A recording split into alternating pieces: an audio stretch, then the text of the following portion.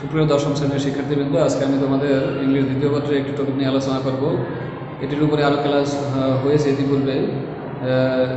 সেটি হলো competing sentence তো এটির উপরে অন্যান্য টিচাররা ইংলিশ টিচার আরও ক্লাস নিয়েছেন। তো সেগুলোর সাথে তোমাদেরকে আরও একটু সমৃদ্ধ করার জন্য আমি ক্লাসটি নিয়েছি তো ধারাবাহিকভাবে আরও দু একটি ক্লাস নেবে এটার উপরে। তো পিছনের যে সারা ক্লাসগুলো নিয়েছেন, সেগুলো তোমরা ফলো করবে ভালো করে এবং যদি কোনো ঘাটতি থেকে থাকে, সেটা এখান থেকে যদি ব্যতিক্রম কিছু পাওয়া যায়, সেটাও এখান থেকে শিখে নেবে। তো আজকের টপিকটি হলো আমাদের কমপ্লিটিং সেন্টেন্স দ্যাট মিন্স একটা সেন্টেন্সকে কমপ্লিট করা বা পূর্ণতা দেওয়া। তো পূর্ণতা দেওয়া মানে এখানে হচ্ছে একটা সেন্টেন্সের কিছু অংশ দেয়া থাকবে, হয় শুরুর অংশ না হয় শেষের অংশ, আর বাকি অংশ তোমাকে লিখতে হবে। তো লিখতে হবে সেটা লেখার জন্য, যেহেতু ইংরেজি সাবজেক্ট এটি তো ইংলিশে সেন্টেন্স লিখতে হলে কিছু স্ট্রাকচার এখানে ফলো করতে হয়। আর সেই স্ট্রাকচারগুলো যদি সঠিকভাবে অনুসরণ করা না হয়, তাহলে সেন্টেন্সটি বিশুদ্ধ হবে না এটা। তাহলে সেন্টেন্সের কিছু অংশ দেওয়া থাকবে এমন শর্ত মতে, যেগুলোর সাথে বাকি অংশ বসার জন্য একটা নির্দিষ্ট শর্ত তার জন্য প্রযোজ্য হবে। তো সেটা যদি ফলো করা না হয়, তাহলে সেন্টেন্সটি এখানে শুদ্ধ হবে না বা সঠিক হবে না। আজকে আমি দুই একটি রুলস নিয়ে আলোচনা করব। আহ, যেগুলো ওর ক্ষেত্রে অনেক সময় আমরা ভুল করে থাকি বা তোমরা ভুল করে থাকো। তো দু একটি নিয়ম দেখা যায় যে একটা হলো অ্যাজিব অ্যাজিব একটা কনজাংশন আছে এখানে। তো এই যে কনজাংশনটি এটি সাধারণত সেন্টেন্সের মাঝখানে বসে এটা। অ্যাজিব কনজাংশনটি সেন্টেন্সের মাঝখানে বসে। এটা বসার জন্য কিছু শর্ত আছে।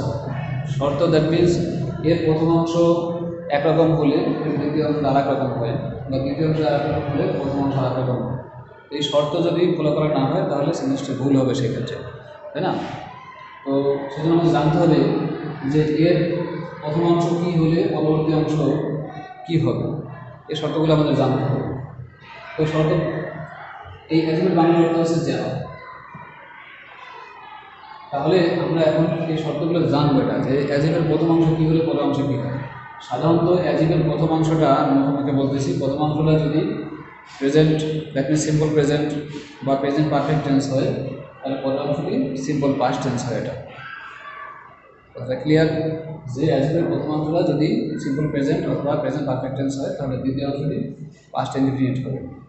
ঠিক একই রকমের প্রথম অংশটি যদি পাস্ট ইনডিফিনিট হয়, তাহলে দ্বিতীয় অংশটি পাস্ট পারফেক্ট হবে তো দুটি কথা। একটা হলো যে প্রথম অংশটি যদি প্রেজেন্ট ইনডিফিনিট বা প্রেজেন্ট পারফেক্ট হয় তাহলে পরেরটি পাস্ট ইনডিফিনিট হবে। আবার প্রথম অংশটি যদি পাস্ট ইনডিফিনিট হয়, তাহলে দ্বিতীয় অংশটি পাস্ট পারফেক্ট টেন্স তাহলে দুটি উদাহরণ দেখা যায়। যেমন he he talks he talks that means এটা প্রেজেন্ট ইনডিফিনিট টেন্সের একটা আছে আমরা প্রেজেন্ট ফর্ম আছে ভার্টন সিম্বল হবে এখানে এস আছে তাহলে এখানে বলছে যে প্রেজেন্ট ইনডিফিনিট অথবা যদি এখানে প্রেজেন্ট পারফেক্ট টেন্স থাকে এখানে পাস্ট ইনডিফিনিট হবে অথবা ই he has he has told he has told the matter as he. এই যে দুটো সেন্টেন্স আছে একটা হচ্ছে হি টক্স খালি আছে এটা দ্বিতীয়টা হচ্ছে